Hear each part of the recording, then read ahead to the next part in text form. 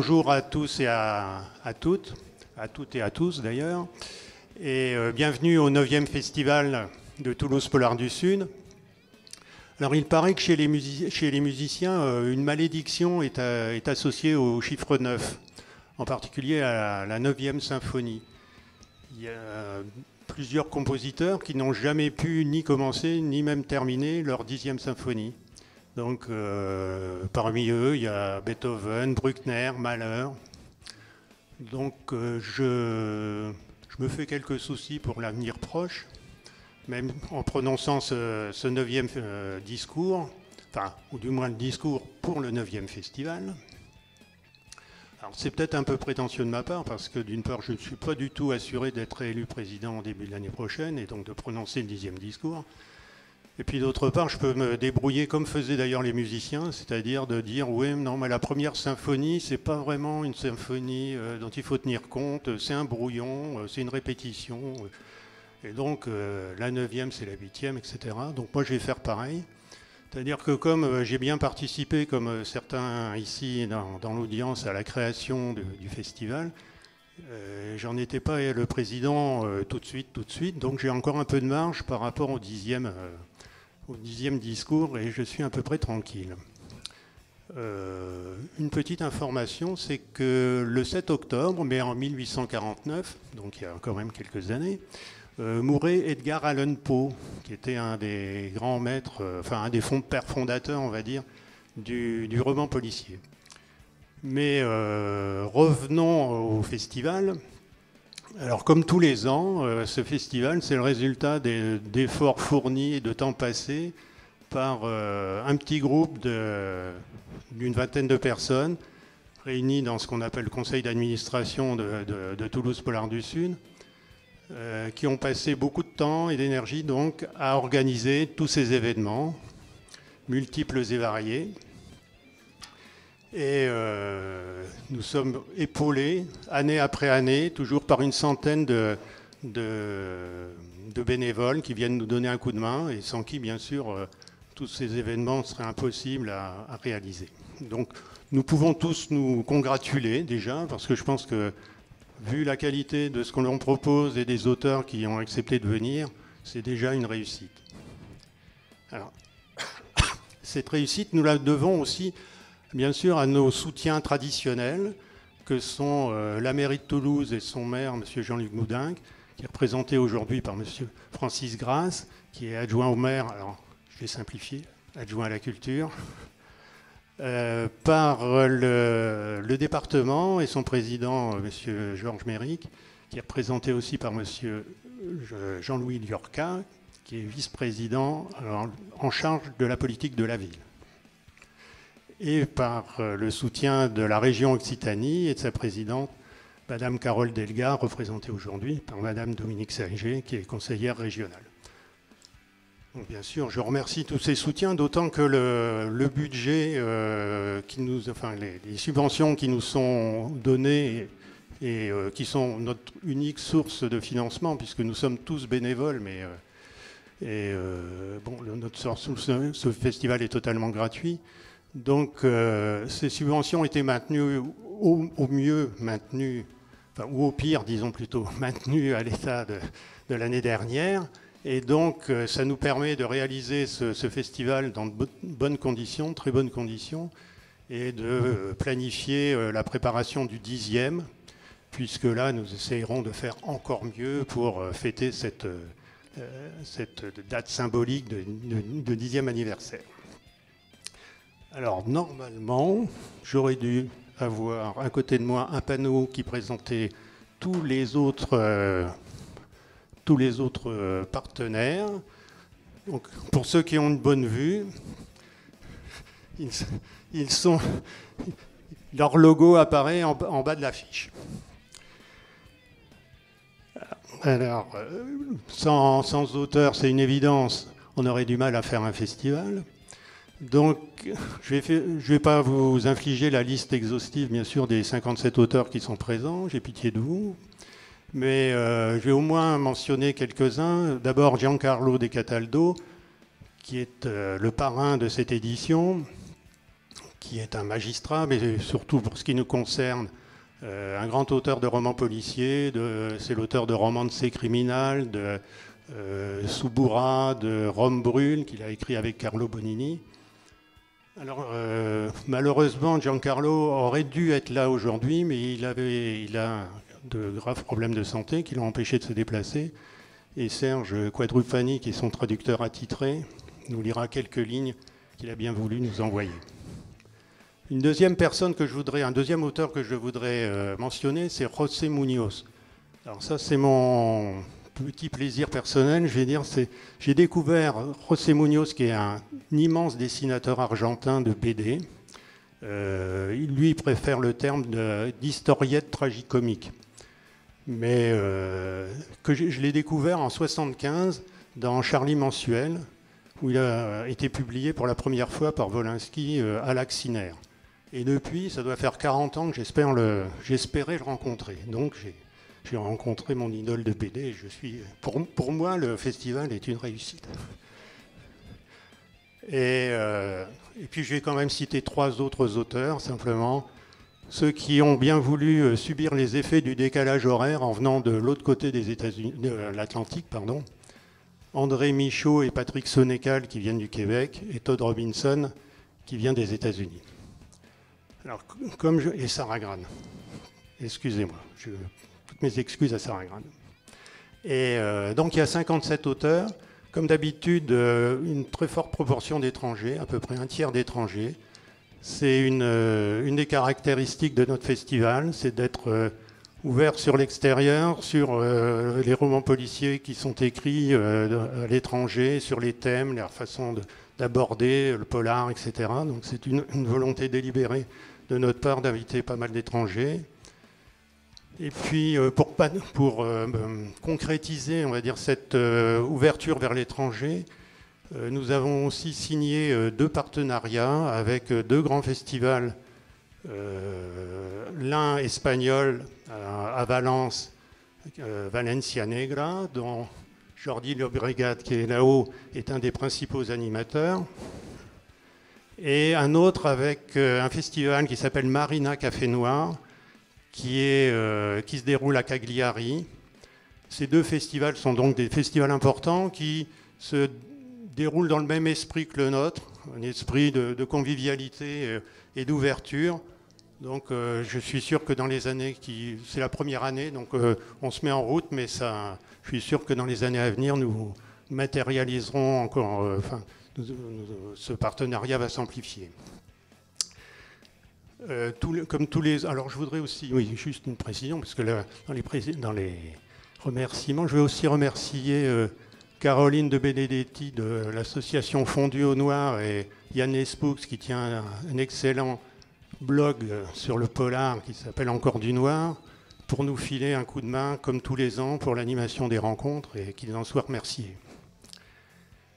Euh, je remercie aussi Monsieur Omar Hassan, qui était il y a encore pas très longtemps un pilier redouté du stade toulousain et qui euh, maintenant est chanteur lyrique et qui a bien voulu accepter d'être le président du, prix Violetta Negra, dont on parlera juste après mon discours, donc dans quelques minutes.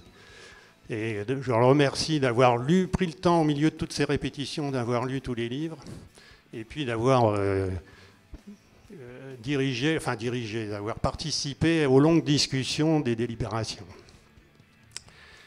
Euh, comme tous les ans, nous organisons un, grand rallye enquête à travers, à travers, la ville de Toulouse, écrit par un, auteur toulousain. Cette année, c'est Chrysostome Gouriot. C'est toujours un, très grand succès. Euh, cette année encore, il y aura à peu près 800, euh, un peu moins de 800 participants. On verra avec ce, ce rallye est organisé en partenariat avec Quai des Savoirs on verra avec, eux comment pouvoir encore amplifier la fréquentation euh, à ce rallye euh, dans les années à venir. Alors, qui ai-je oublié? Personne. Donc, pour euh, ne pas vous, embêter trop longtemps, ça tombe bien, ça à j'arrive à la fin de mon discours. Je vais quand même parler des libraires, parce que C'est avec eux quand même que nous travaillons principalement. Et bien sûr la librairie La Renaissance qui est notre partenaire historique, puisque nous, tenons depuis le début, euh, le, festival a lieu ici depuis le début, et donc nous les en remercions. Et nous travaillons aussi avec une quinzaine d'autres libraires euh, de librairies indépendantes de la métropole de Toulouse, mais pas que, puisque cette année, on, a travaillé avec une librairie à Lunel, la librairie AB. Donc, euh, qu'ils en soient tous remerciés. Et puis, euh, j'espère pour eux, comme il paraît que les années électorales ne sont pas terribles pour euh, la vente de livres, j'espère que, comme je crois, il n'y a pas beaucoup d'élections dans les mois qui viennent. Donc, j'espère que leur situation va s'améliorer. Et je voudrais, pour finir, vous lire quelques lignes de Jean-Patrick Manchette, qui est un, des, maîtres euh, du enfin qui était un des maîtres du polar, qui a écrit des, polars fondamentaux dans les années 70. Voilà ce qu'il disait de, des libraires. Le mieux pour lire de bons polars, c'est d'abord d'avoir un bon libraire, ou plusieurs. Parce que la plupart du temps, en passant commande, on peut avoir des livres 6 à 12 fois meilleurs que les nouveautés du trimestre qui sont sur le présentoir pivotant. Encore faut-il un bon libraire, un homme qui, si vous lui demandez d'aller vous chercher sous trois jours, en pleine zone bleue, Serena de James Kane, où j'aurais dû rester chez nous d'Horace Mancoy, ne vous répondra pas qu'il n'y en a plus, c'est épuisé, soit qu'il le pense vraiment, soit qu'il estime très justement que son bénéfice dessus ne vaut pas le dérangement. Amateur de polar, sachez bonifier votre libraire. Une fois l'an, achetez-lui un dictionnaire, ou le, journal de Jules Renard, ou la correspondance de Marx et Engels, toutes choses volumineuses et coûteuses qui vous vaudront l'estime de l'excellent boutiquier, vous feront passer pour un bon client et qui d'ailleurs vous aideront à parfaire votre jouissance du polar. Amateur, bonifier son libraire, c'est parfaire, sa, jouissance. Sachez-le. Donc c'est Charlie Mensuel, décembre 77.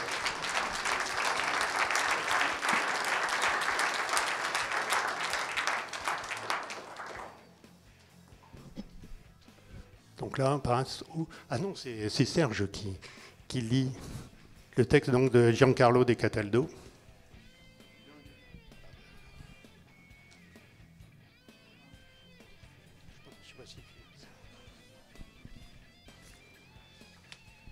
Euh, donc je vais vous le lire euh, deux fois, une fois en italien, une fois en français, comme ça vous verrez euh, si j'ai fait des fautes de traduction.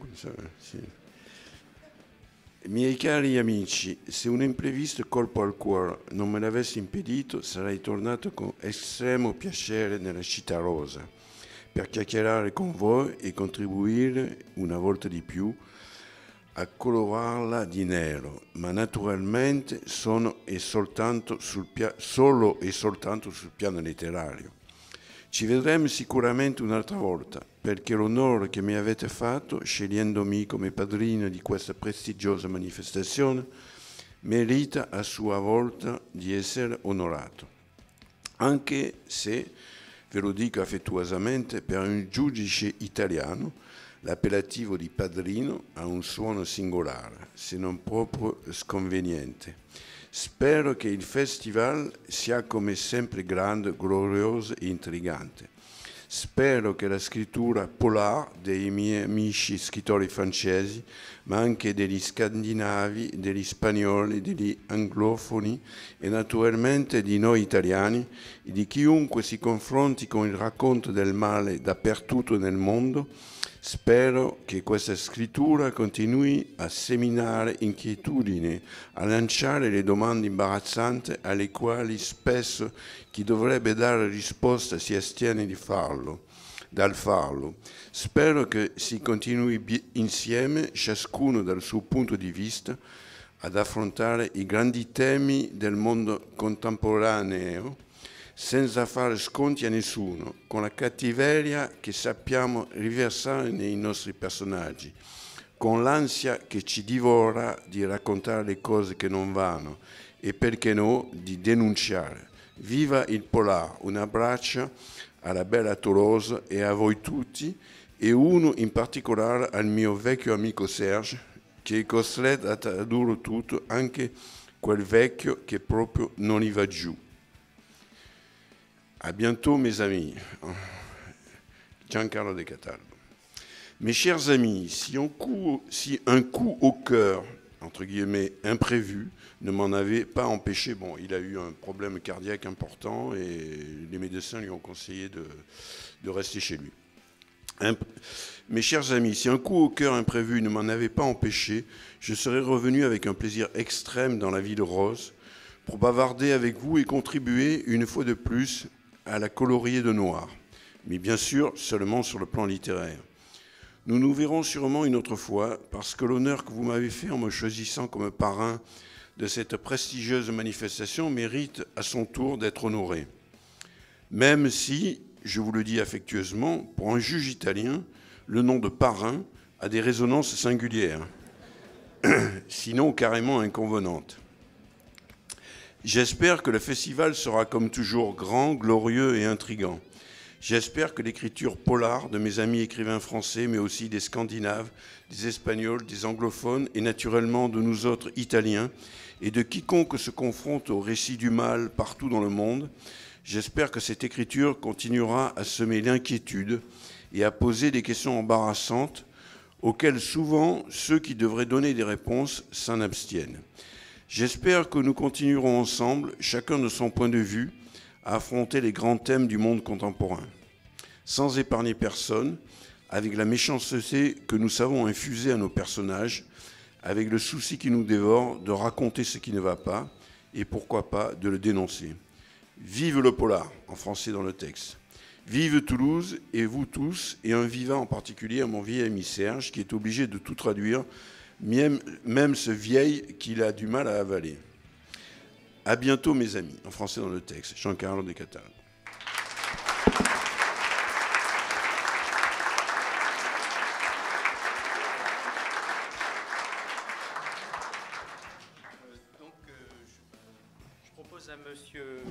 Monsieur Grasse, euh, adjoint au maire de Toulouse, euh, responsable de la culture, de dire un mot. Euh, bonjour à toutes et à tous. Alors, cher Monsieur le Président, vous avez oublié tout à l'heure un compositeur, et ça va peut-être vous donner l'espoir, c'est Mozart, qui a composé 41 symphonies.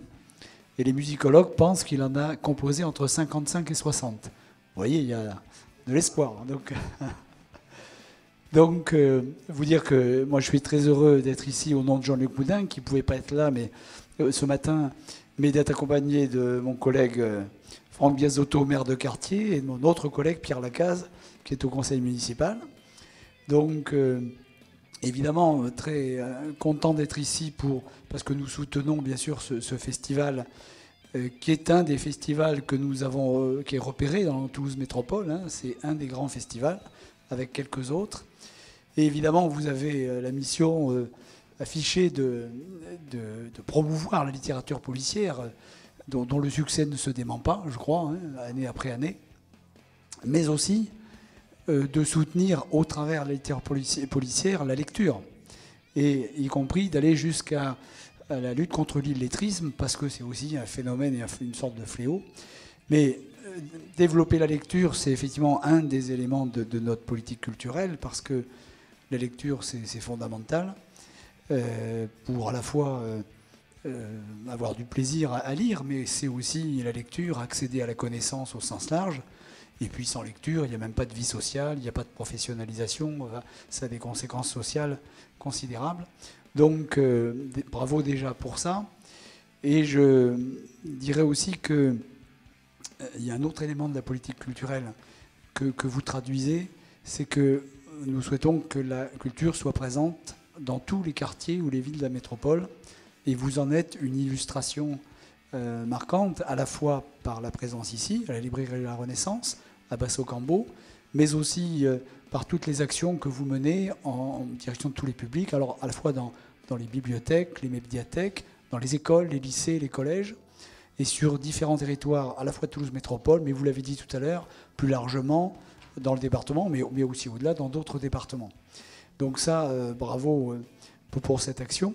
Et puis enfin, quand vous citiez tout à l'heure les, libraires, c'est dire qu'au-delà de la politique culturelle, de la politique de lecture publique, nous souhaitons aussi tous soutenir la filière, euh, la filière du livre, parce que c'est effectivement des auteurs. Et aujourd'hui et, demain, hein, vous, vous honorez et vous avez la présence de nombreux auteurs.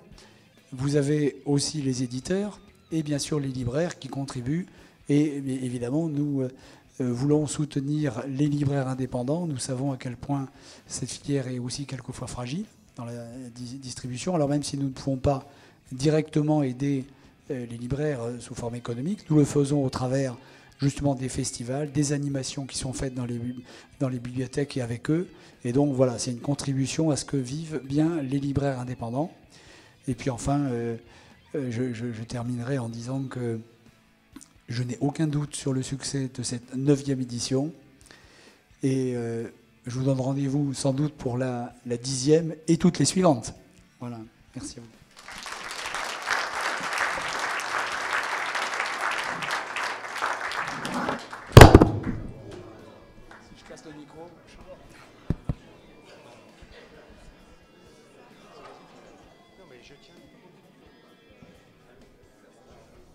Comme ça, il tiendra. Euh, Monsieur Lorca, euh, le représentant euh, du département,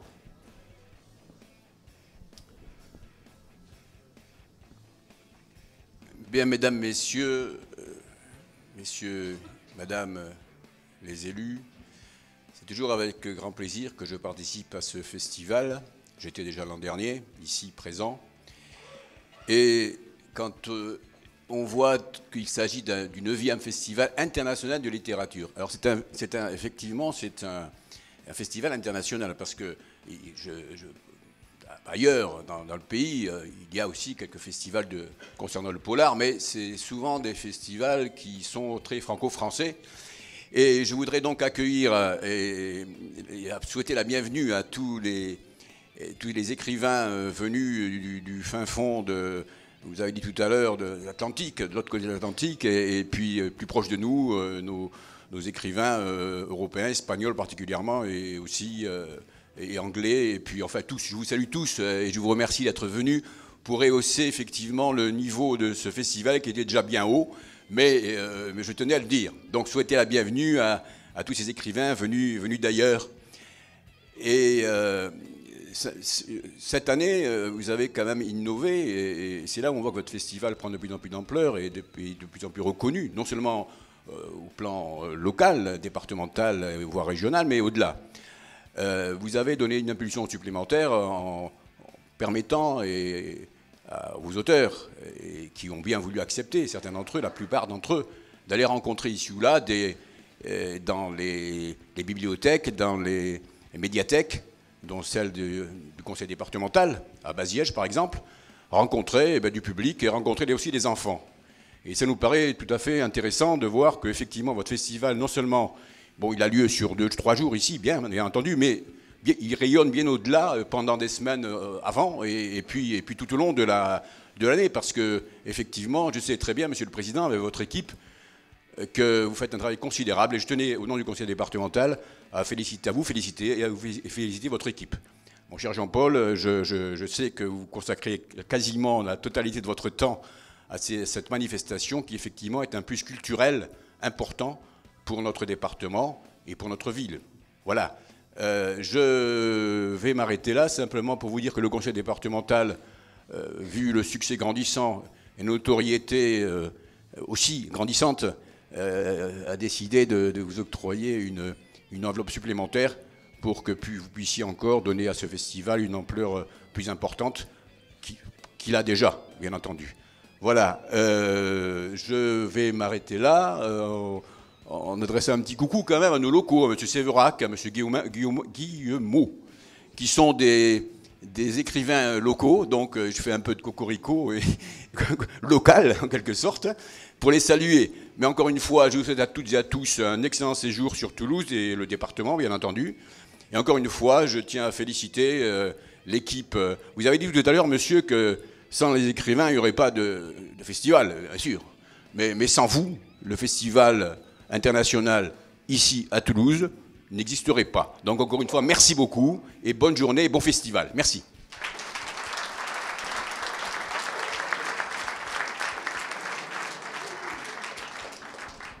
Bonjour, Euh, donc, euh, Madame Sadje va dire un petit mot euh, pour la région.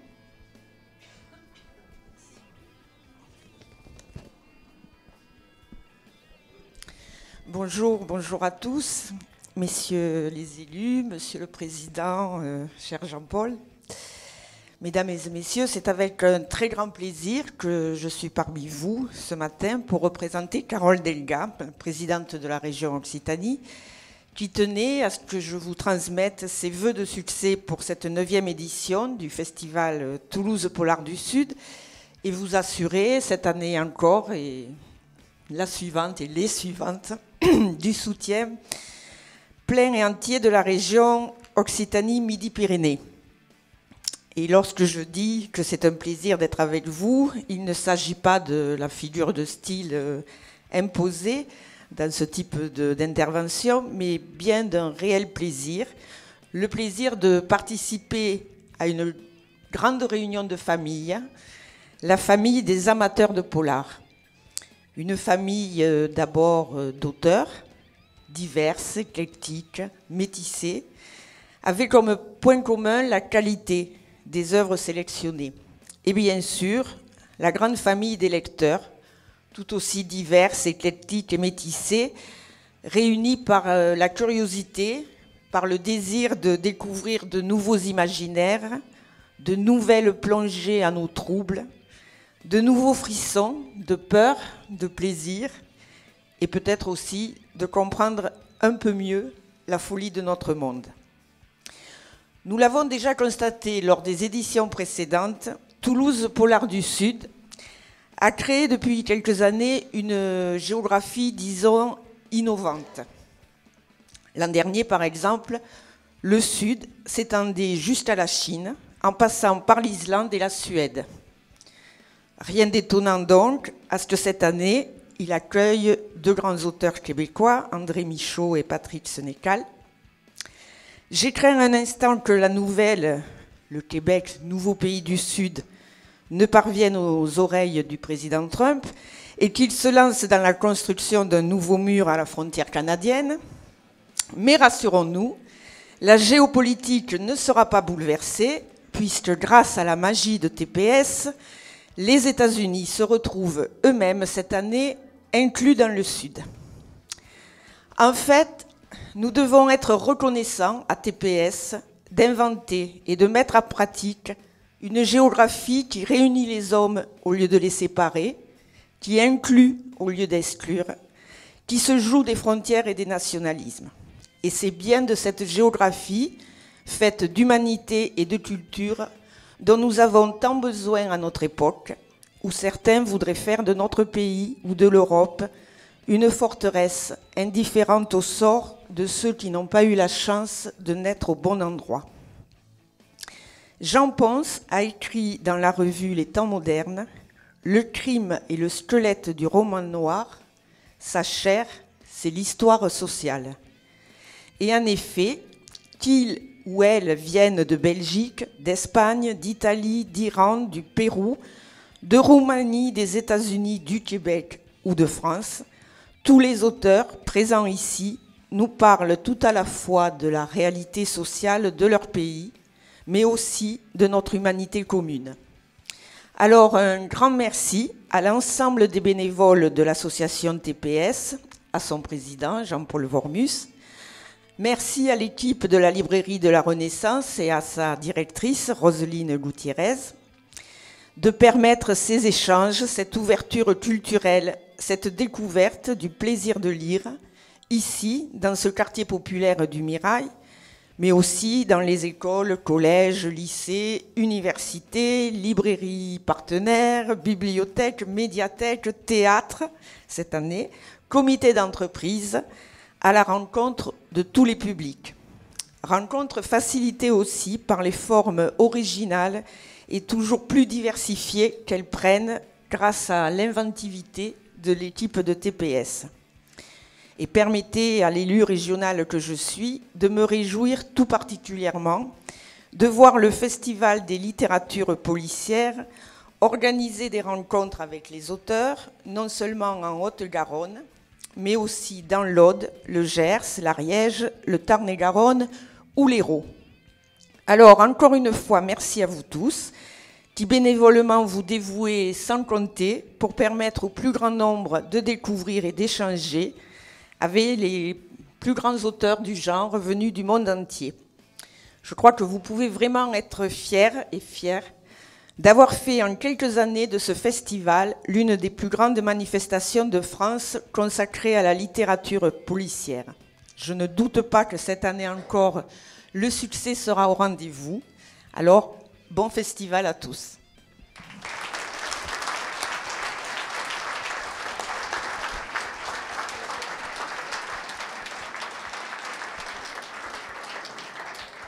Alors, euh, nous allons remettre le prix Violetta Negra et j'appelle Omar Hassan, le, président du jury du festival, du, du prix. Bientôt. Bonjour à tous. Euh, oui, je ne suis pas encore euh, le, président du festival. Jean-Paul. Euh, je voulais saluer à tous les, élus, les représentants, madame, de, l'élu de, la région, messieurs du département et de la ville de Toulouse, et, à vous tous présents. Euh, pour moi, c'est vraiment un, honneur. Merci beaucoup, Jean-Paul, euh, à, vous et à tous les, gens, les membres du, festival, de m'avoir choisi en tant que président du jury. Moi, je pense que euh, ce titre, il est, on peut dire, accessoire. C'est finalement, on était un groupe de personnes qui ont s'était réunis. à choisir vraiment le, polar de, cette année. Pour moi, c'était un grand plaisir et, euh, parce que depuis petit, c'était quelque chose que j'adorais lire. Les livres, pour moi, ça a été euh, quelque chose dès, mon plus jeune âge. Et, euh, et c'était un vrai plaisir de découvrir des polars. Je, disais justement lors de la réunion que moi j'étais plutôt science-fiction. et donc Bon, finalement, j'ai trouvé quelque chose aussi à lisant certains là mais c'était un vrai plaisir.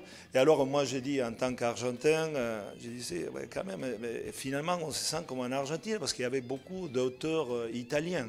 Et vous savez, en Argentine, il y a beaucoup d'Italiens. D'ailleurs, on dit toujours que les Argentins, on est des, euh, Italiens qui parlent espagnol. Voilà.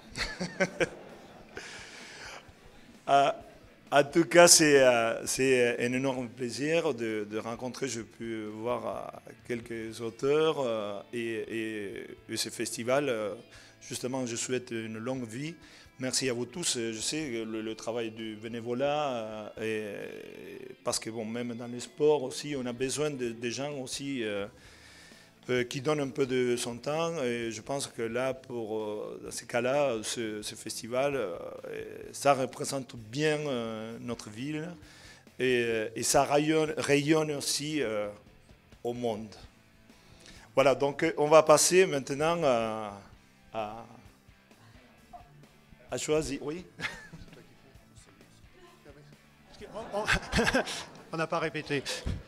On va juste, euh, avant de donner le, vainqueur ou le, lauréat du prix, euh, lister, enfin donner euh, présenter les, autres auteurs qui étaient en lice pour le, pour le prix. Vas-y. Donc, il y a eu une sélection de six livres. Donc, comme Jean-Paul l'a dit, c'est vrai que j'avais participé à. J'étais dans les chœurs euh, pour une opéra à la, fin d'année. Donc, euh, Jean-Paul était venu avec les six livres. Bon. Maintenant, comme ça, dans ces formats, il paraît plus petit, mais c'était des grands livres comme ça, j'ai dit. Ouh J'en ai. Mais c'était super, c'est vraiment, je me suis pris dedans, j'ai voyagé, c'est ça qui est, qui est magnifique dans les histoires et surtout dans la sélection qu'on a fait, ça a été passionnant. Hein. Comment on a, même s'il y a eu des coïncidences, euh, et après il y a eu des, avis différents, donc euh, c'est ça qui est passionnant vraiment dans les débats. Voilà, donc les, vous avez fait une sélection euh, des six livres des auteurs. Donc le premier, c'est euh, Santiago Roncagliolo, La peine capitale. Le deuxième, c'est euh, Maurizio De Giovanni et l'oscurité fut. Vous me dites si je ne prononce pas très bien. Hein. Soyez indulgents. Et euh, le troisième, oui, Andreu Martin, Société Noire. Valerio Varesi, Le fleuve des brumes. Parker Bilal, meurtre rituel à Imbaba. Et le dernier, Carlo Bonino, Giancarlo De Cataldo, Suburra. Donc, le lu, vous avez l'enveloppe? on, va, on, va faire euh, durer le suspense.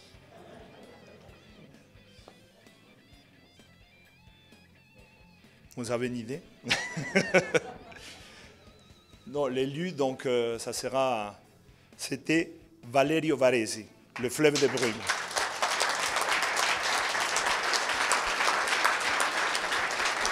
Bravo.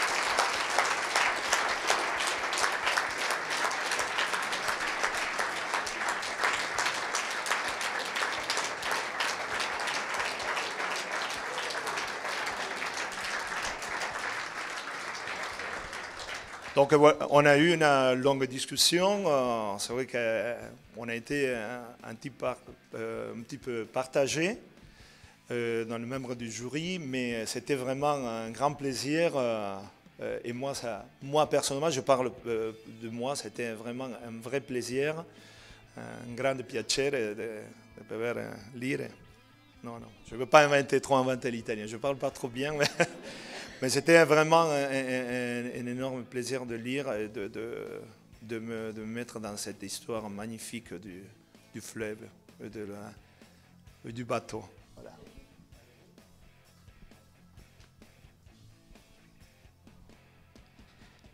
Merci beaucoup à tout le monde. je suis très heureux et ma voix se Je ne parle pas pour, pour l'émotion. Je suis vraiment heureux d'avoir gagné le prix parce que c'est un prix prestigieux euh, et dans un festival prestigieux, un des plus grands festivals de France. je, je, suis vraiment, euh, je ne parle pas très bien le français, excusez-moi, euh, mais je suis vraiment euh, je, ne crois, je ne crois pas d'avoir gagné le, Et vous remercie avec tout le cœur pour, euh, euh, pour le prix. je, suis, je, sais que le jury c'est très qualifié, très, très expert, de grands lecteurs. Et le prix, donc, il a deux valeurs, de, de double valeur. Merci beaucoup à tous vous.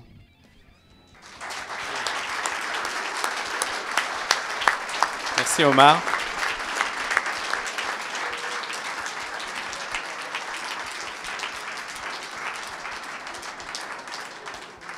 Alors on va procéder à la remise du prix Thierry Jonquet de, de la Nouvelle.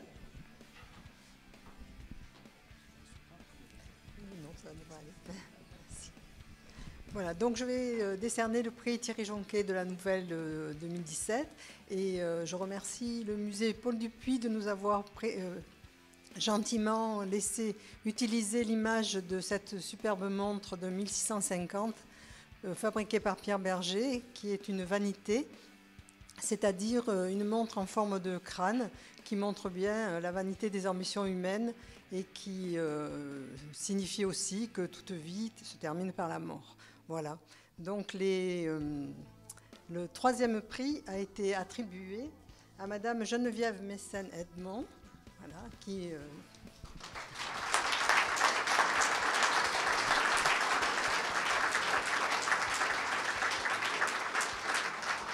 qui reçoit un chèque de 180 euros Voilà. Le deuxième prix à Monsieur Bruno Pradal, qui n'est pas ici, euh, pour son texte. Alors, Madame Geneviève, pardon, le texte, c'est À contre-temps. Voilà. Et Bruno Pradal, c'est Bon appétit Marie-Christine. Il reçoit donc le deuxième prix et un chèque de 200 euros. Et le premier prix est donc attribué à Madame Patricia Portman pour faux et usage de faux.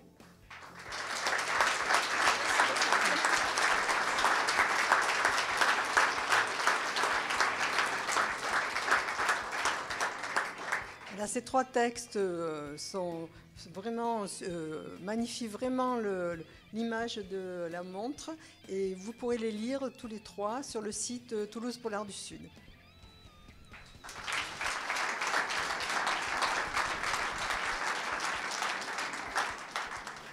Merci bien et bravo. Alors j'appelle Monsieur Régeau, commissaire de police. il est directeur de l'école de police de Toulouse et il va remettre le prix de l'embouchure.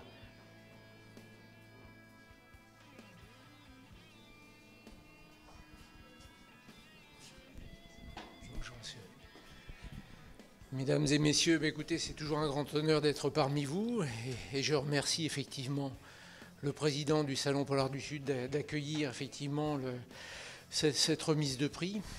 Vous savez que par nature, tous les policiers d'investigation sont des, rédacteurs de procès-verbaux en tout genre. Hein. Beaucoup de, un certain nombre de, policiers rêvent de devenir des auteurs. Certains y arrivent avec talent. Euh, j'en vois un sur ma droite, là-bas, c'est Christophe Guillemot, qui occupe un poste éminent au niveau du service de police judiciaire local. Et puis, bah, la plupart des, policiers sont aussi de fervents lecteurs de romans policiers. Et à cette occasion, effectivement, bah, il y a une, euh, l'association des personnels de la police nationale de, Toulouse, euh, qui est dirigée par M. Passamonti, qui était à ma droite là, sur le haut de, l'estrade, donc a, élaboré effectivement un prix, euh, a mis en œuvre un prix, le prix de l'embouchure, qui permet pour la septième année de, récompenser un, auteur qui a été choisi par plusieurs dizaines de lecteurs au sein du, commissariat. Voilà. Euh, deux mots sur l'auteur, je pour éviter d'être très très long. Euh, l'auteur qui a été récompensé aujourd'hui a écrit, à mon sens, une histoire euh, qui, est qui va bien au-delà d'un roman policier. C'est une formidable histoire humaine, très bouleversante, très poignante. Vous savez que tout ce qui touche à la disparition d'un mineur, c'est forcément un événement dramatique. L'actualité l'a montré encore récemment. Euh, c'était un drame épouvantable, non seulement pour les parents, c'est aussi euh, un événement euh, hors norme pour les forces de l'ordre, éventuellement, qui sont chargées de, l'enquête, parce que quel que soit le, volume des moyens que vous avez à mettre en œuvre, on peut toujours vous reprocher effectivement de ne pas en faire assez. Et ça contraint effectivement les, policiers qui sont sur le terrain à, avoir une certaine proximité avec la famille de la victime, parce qu'il faut être très proche et parce qu'il faut aussi les soutenir dans, ces occasions. Ah.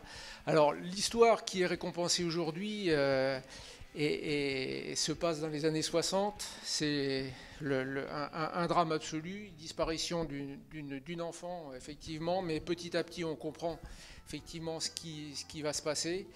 Et euh, l'histoire, effectivement, euh, est, d'autant plus poignante qu'elle se, se, passe dans un contexte historique précis. Hein, la, fin du, la, fin du, franquisme, effectivement, la disparition d'un certain nombre d'enfants, effectivement, euh, issus de familles dites républicaines. Et ça se situe dans un contexte historique précis, avec, et nous avons tous apprécié la précision de l'écriture de l'auteur effectivement, et des détails qui ne trompent pas pour des, professionnels, ce qui rend le, roman particulièrement vrai, particulièrement humain. Et donc, euh, bah, je voulais effectivement, au nom de l'association euh, des personnels, appeler celle qui va être compensée aujourd'hui, c'est Madame Simone Gélin, pour l'affaire Jeanne de Bois.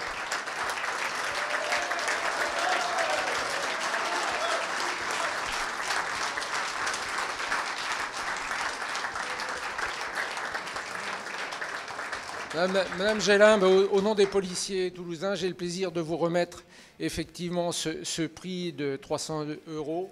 Et, personne n'en voudra aux Toulousains d'avoir invité une Bordelaise. euh, qui ne manquera pas de reconnaître qu'elle est venue dans la véritable capitale du Sud-Ouest, qui est Toulouse. Je vous cède la parole. Merci Bravo. Merci infiniment. Waouh Oh mais j'aime Toulouse. Merci, merci beaucoup. Merci, je suis vraiment très très heureuse. Bien sûr, c'est un grand plaisir, mais aussi, je veux dire, c'est, enfin, pour moi, c'est une vraie reconnaissance. Parce que euh, être reconnu par un jury de policiers, pour moi, c'est très fort parce que parfois on m'a dit que mes romans n'étaient pas de vrais romans policiers. Donc maintenant, j'aurai de quoi répondre. Voilà. Donc merci, merci beaucoup. Je suis trop émue pour vous dire autre chose que ça. Merci infiniment. À tous.